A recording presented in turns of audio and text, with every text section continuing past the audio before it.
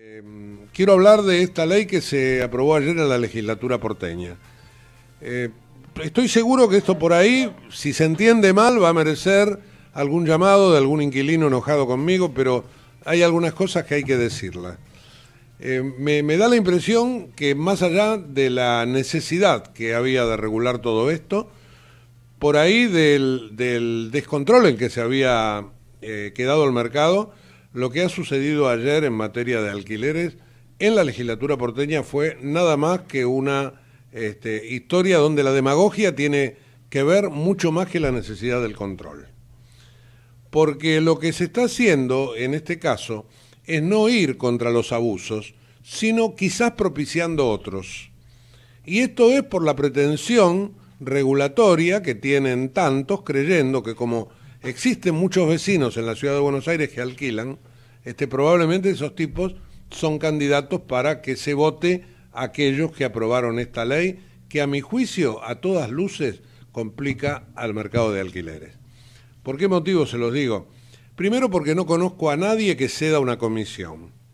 En este caso, los inquilinos no la van a pagar. Por supuesto que no la van a pagar de modo directo pero sí lo van a hacer de modo indirecto, sin ningún tipo de duda, porque el que alquila le va a cargar en el precio del alquiler lo que de su bolsillo le tendrá que pagar al agente inmobiliario.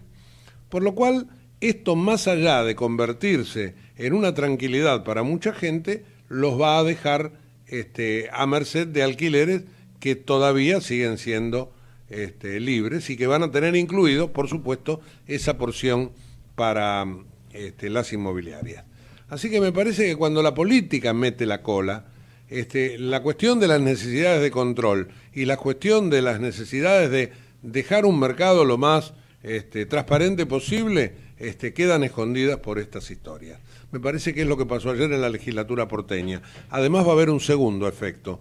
Otros propietarios por ahí se van a retirar un poco del, mercado y esto va a ser que suba el precio de los alquileres. Pero se sabe que a los políticos estas cosas les importa poco y que en todo caso ellos piensan en el 22 de octubre fundamentalmente. Más allá de que después las cámaras inmobiliarias harán este, presentaciones judiciales y, más allá de la eh, cuestión que, el mercado este, libre parece ser que no tiene demasiada este, vigencia en el país, esas son otras cuestiones de tipo posterior.